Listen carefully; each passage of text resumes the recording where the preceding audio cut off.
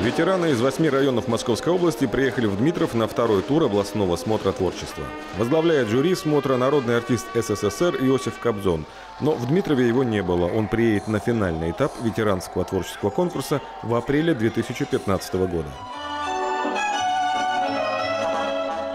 От Дмитрова в смотре ветеранских коллективов и самостоятельных творцов приняли участие дуэт Натальи Косенко и Александра Сергеева, народный хор ветеранов под управлением Виктора Бурховецкого, пел Виталий Бобровский, читали стихи Феликс Фокин и Галина Дорофеева.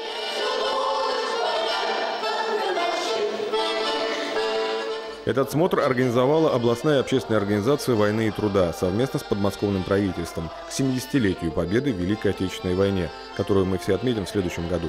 Поэтому так или иначе все номера смотра были связаны с тематикой войны. Ничего дороже нет, чем душевной чистоты. Уровень исполнителей был совершенно разным, от любителей до профессиональных деятелей культуры, уже десятилетиями занимающихся тем или иным видом искусства. Но зрители, а ими были сами же участники смотра, тепло приветствовали каждого исполнителя или творческий коллектив.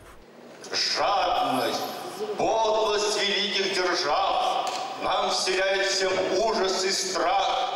Жюри отметило наиболее интересные выступления, но именно победители ветеранского смотра творчества будут объявлены через полгода, когда пройдут отборочные концерты по всему Подмосковью.